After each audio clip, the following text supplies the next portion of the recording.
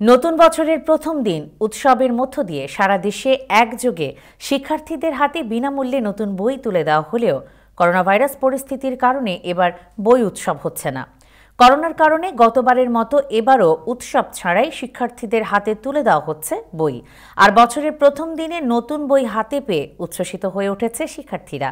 শিক্ষার্থীদের এমন আনন্দে অভিভাবকরাও দারুণ খুশি। জানা গেছে, এবারের শিক্ষাবর্ষে চার কোটি সতেরো লাখ ছাব্বিশ হাজার আটশো ছাপ্পান্ন জন শিক্ষার্থীর মাঝে চৌত্রিশ কোটি সত্তর লাখ বাইশ হাজার একশো ত্রিশ কপি পাঠ্যপুস্তক বিনামূল্যে বিতরণ করা হচ্ছে।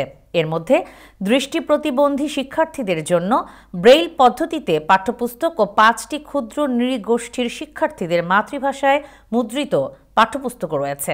তবে এ বছরের প্রথম দিনে সব শিক্ষার্থীকে বই দেওয়া সম্ভব হচ্ছে না। শিক্ষা মন্ত্রণালয় এক একটি শ্রেণির শিক্ষার্থীদের ভাগ করে বিভিন্ন দিনে বই দেওয়ার জন্য শিক্ষা প্রতিষ্ঠানগুলোকে নির্দেশ দিয়েছে।